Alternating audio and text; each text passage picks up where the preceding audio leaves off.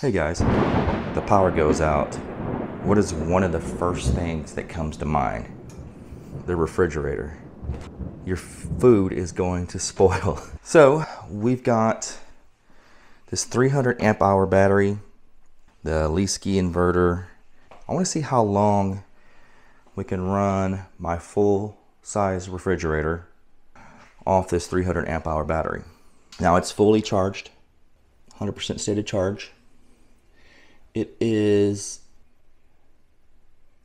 7:54 Saturday, October 29th. So, let's start up the inverter. Okay, I hear the refrigerator coming on. We are drawing 188 watts. 186. Refrigerator's on. We're back in business, guys. All right, I'm gonna come back in a couple of hours. I wanna see where the state of charge is. We're still uh, around 100% and discharging. Be curious to see uh, where the wattage settles down at. Is it gonna continuously run at, you know, 186 watts? All right, guys, we're gonna let it run and uh, for a little bit and come back and see what it's doing. Look at this.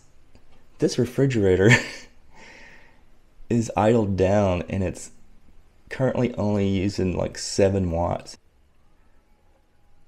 And this is that's probably just like the idle consumption of the inverter.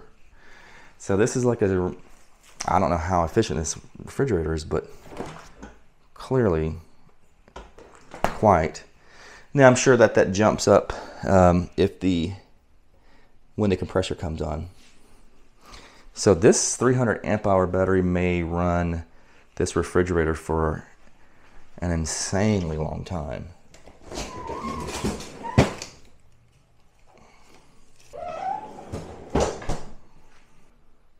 All right. All right, guys. The time is now 7:41 p.m.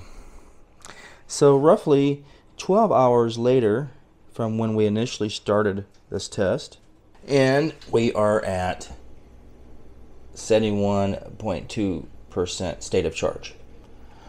Uh, so we've got uh, 220 amp hours remaining. We're currently using 122 watt.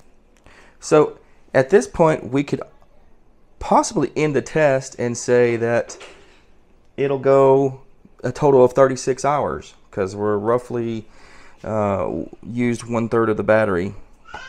And um, but I don't think that's totally the case because as we noticed whenever we started the test this early this morning, uh, nobody had been using the refrigerator, so it was just it hadn't seen very much use over the night when everybody was sleeping.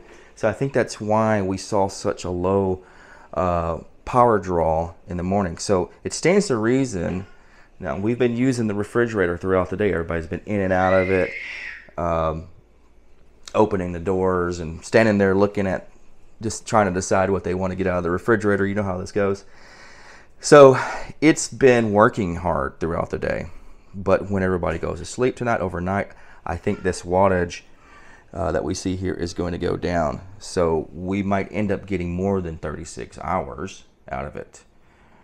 So anyways, just a little update there. And I'm going to let it continue to run. We'll let the test continue to go through because of we got a pretty good idea that this will calm down in the power usage over the nighttime hours. All right, I'll be back. All right, guys. So it is Sunday, October 30th, 8:33. So slightly over 24 hours, like 24 and a half hours right now. And we are pulling 20 watts or 9 now. Let's see. 9.96 watts. So, as I suspected, the refrigerator went down in power over the over hour nights when people aren't using it. As a result, we are only down to 50.6% uh, state of charge. So it uh, used a, uh, a lot less power. So where we were thinking we were going to get 36 hours of total runtime, if this thing isn't used in for a portion of that time, then it's going to actually run longer. So right now, this pretty much tells me at this level of usage in my household, where we have three adults and a child, this should run 48 hours. Anyways, just wanted to do a little update there. I'm gonna let it keep running anyway. I assume Monday morning it'll be basically be complete. Uh, we'll come back tomorrow morning. All right, guys, here's my dilemma. It's uh, 11 o'clock Sunday, October 30th. Uh, 11 o'clock at night.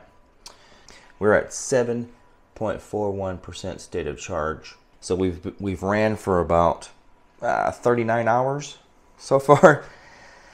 Um, so the dilemma is is that I've got to go to bed. and do I think it will continue running by the time I wake up?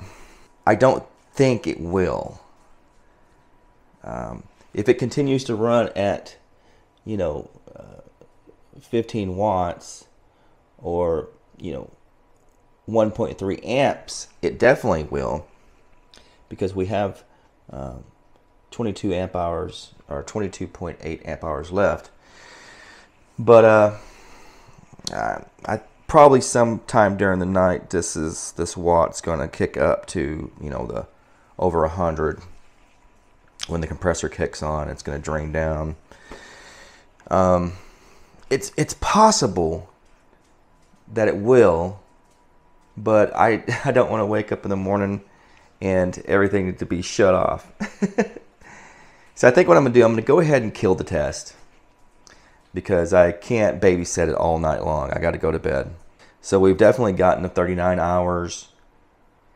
I would say uh, worst case scenario, it probably has two more hours left.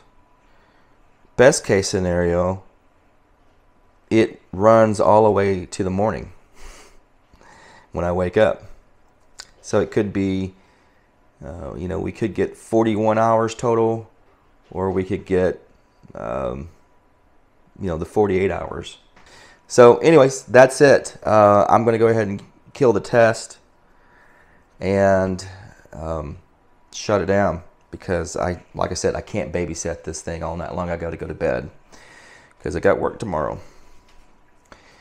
Anyways, so that'll be the end of the video, guys, and I hope you enjoyed it. Hope this gave you some kind of insight to what kind of battery or what size of battery uh, you would need to run your refrigerator, your full size refrigerator uh, and how long you could run it for in the event of a power outage.